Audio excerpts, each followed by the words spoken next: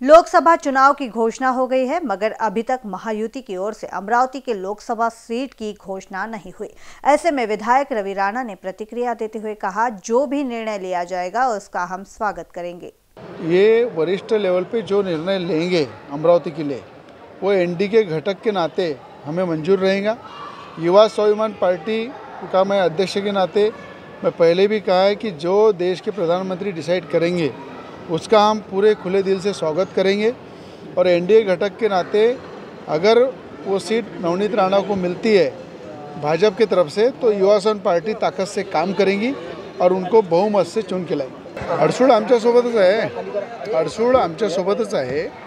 ते माजी खासदार आहे. अमरावती जिल्ह्याचे एकनाथजी शिंदे साहेबाच्या गटाचे नेते आहे. आणि मी पहिलेही सांगितलं आताही सांगितलं की आम्ही सगळे मिळून एन डी एसोबत आहे. आणि भाजपचा उमेदवार तिथे उभा राहील तर आम्ही सगळे मिळून तिथे काम करू आणि भाजपच्या उम्मीदवाराला निवडून बीजेपी की तरफ़ से मुझे लगता है देश के प्रधानमंत्री जी ने भी काम देखा है नवनीत राणा का देश के गृह मंत्री जी ने देखा है। और बड़े बीजेपी के विचारों के साथ बीजेपी के नेताओं के साथ हमेशा नवनीत राणा ने मिल के काम किया है। तो मुझे लगता है जो भी ऊपर लेवल पे निर्णय लेंगे उसका हम स्वागत ही करेंगे। और देश के गृह मंत्री अमित शाह जी भी जो निर्णय लेंगे उसके लिए हम पॉजिटिव विचार करके उनके स्वागत करेंगे। कहीं ना कहीं कोर्ट में भी एक खास खुशी थी उसके ऊपर क्या कहना है? कोर्ट में भी जो चल रहा है उसको लेकर प्रक्रिया है उसमें मेरा बोलना उचित नहीं है। जो भी न्यायालय निर्णय देगा उसका हम स्वागत ही करेंगे। नाही मी तर काही समजा म्हणून म्हणत नाही तुम्हाला पण मला असं वाटतं की राज्याचे उपमुख्यमंत्री देवेंद्र फडणवीस साहेब स्वतः बोलले आहे की भाजपची सीट आहे अमरावतीमध्ये. भाजपचाच उमेदवार उभा राहील. आणि त्यांनी संकेतसुद्धा दिले आहे की नवनीत राणा या पूर्ण पाच वर्ष भाजपसोबत राहिल्या.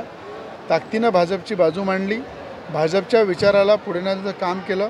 जर खासदार नवनीत राणांनी इतक्या ताकदीनं भाजपचा साथ दिला त्यावर फडणवीस साहेब बोलले की भाजपची सीट राहील आणि भाजपचाच उमेदवार उभा राहील. मी आधी सांगितलं राज्याच्या राज्याचे मुख्यमंत्री एकनाथजी शिंदे राज्याचे उपमुख्यमंत्री देवेंद्र फडणवीस साहेब हे सातत्यानं राज्याच्या विकासासाठी मला त्यांना भेटत राहावं लागते.